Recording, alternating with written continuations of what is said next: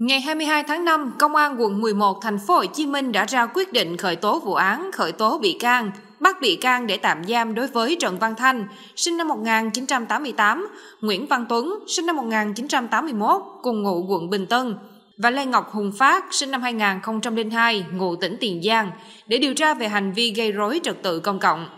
Đây là nhóm người tham gia hỗn chiến trong đám cưới tại một nhà hàng nằm trên đường Hòa Bình, phường 3, quận 11, khiến người dân bức xúc.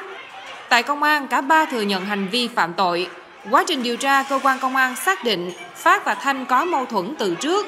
Trưa ngày 18 tháng 5, cả hai gặp nhau tại tiệc cưới ở nhà hàng trên và tiếp tục xảy ra cự cãi đánh nhau. Lúc này hai nhóm bạn đi cùng Phát và Thanh cầm hung khí ba chĩa, lao vào ẩu đả, ruột đuổi nhau từ trong nhà hàng ra đến ngoài đường, đập phá nhiều bàn ghế cửa kính nhà hàng, khiến mọi người sợ hãi, chạy tán loạn. Cơ quan công an đang kêu gọi những người tham gia cuộc hỗn chiến nhanh chóng đầu thú để hưởng sự khoan hồng của pháp luật.